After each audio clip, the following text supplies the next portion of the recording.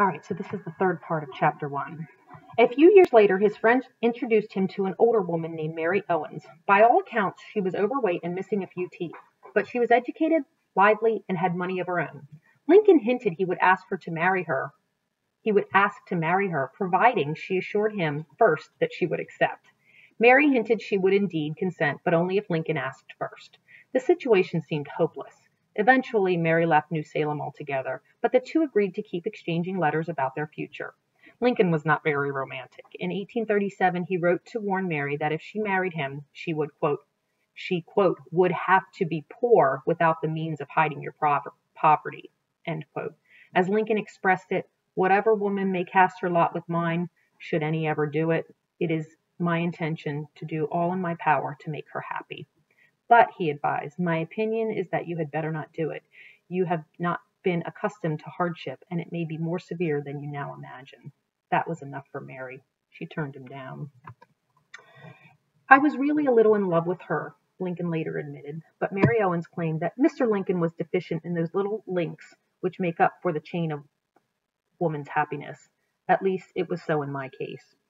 Even after Lincoln became president, she never regretted saying no to his half-hearted proposal.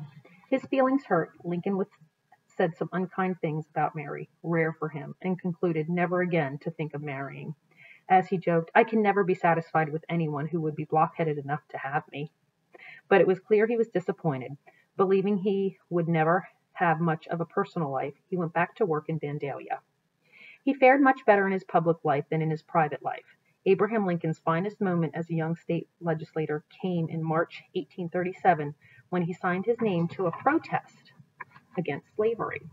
Most Americans, including those living in free states like Illinois, continued to be silent about the slavery issue. In those days, even even the protest that Lincoln wrote with a fellow assemblyman named Dan Stone admitted that the U.S. Congress had no power under the Constitution to interfere with the institution of slavery in different states. But Lincoln and Stone were outraged that the Illinois legislature had just passed a resolution disapproving of abolition societies, groups devoted to ending slavery. Many people of the time considered these organizations radical and dangerous. Abolitionists, the name given to people who wanted slavery abolished immediately, were often attacked and some were murdered. Most Americans still considered them to be extremists. Lincoln was no abolitionist, not yet, anyway, but he believed that the Illinois Resolution missed a very important point that slavery was morally wrong. So Lincoln voted against it.